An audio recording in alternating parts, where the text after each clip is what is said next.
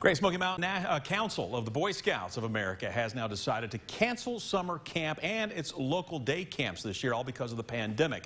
The week-long summer camp at Camp Buck Toms in Roane County on average hosts nearly 2,500 scouts, many of them coming from out of state. The council scout executive telling us even with every precaution taken, the risk would still be just too high for staff and campers alike. We truly hate to do it.